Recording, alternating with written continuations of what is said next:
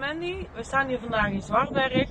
Ik ga jullie kort wat informatie geven wat we nodig hebben om veilig te kunnen springen. Kom maar met me mee.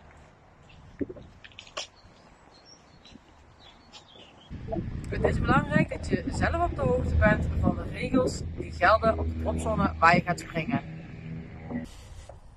Op iedere dropzone is er een informatiebord aanwezig. Ik ga deze kort met jullie bespreken.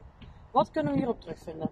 De datum van vandaag geeft aan dat de informatie actueel is. Dan hebben we de droprichting, 180 graden. Dat betekent in dit geval dat we richting het zuiden gedropt gaan worden. Deze informatie kan handig zijn om te kunnen inschatten waar dat we ongeveer open gaan hangen. Dan hebben we de separatietijd. Dit is de minimumtijd die we tussen de groepen laten om zo'n veilige afstand te creëren in vrije val. Dan hebben we de windsnelheid, 5 knopen. Dat betekent de sterkte van de wind het moment dat we aan het landen zijn. Een sprongenlimiet. Afhankelijk van de weercondities kan hier een A, B, C of D staan. Dit is iets wat de centrumleider bepaalt.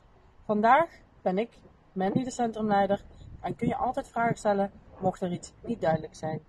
Dit is algemene informatie. Dan hebben we ook nog informatie omtrent het landen. Zorg ervoor dat je ook daarvan op de hoogte bent, omdat dit specifiek per dropzone kan verschillen.